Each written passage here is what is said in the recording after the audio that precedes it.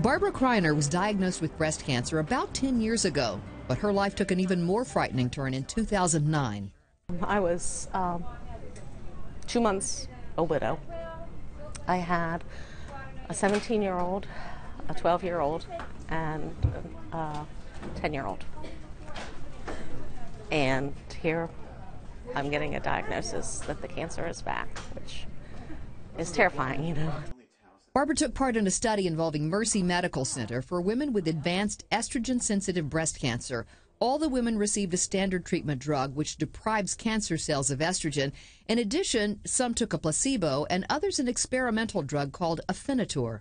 Sometimes there's a pathway inside the cell which uh, can bypass this estrogen blockade and still lead to proliferation of cells and, and cell growth. So Afinitor is a, a blocker of that pathway. Mercy Medical Center oncologist Dr. David Riseberg says the results of the study show the combination of drugs works and doctors can now prescribe them.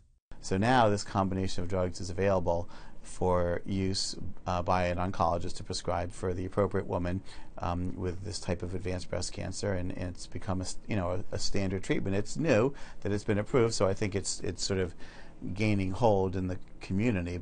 And for Barbara, it's meant quality of life, traveling and spending more time with her sons. You know, for me as a patient, I think it's kept me alive.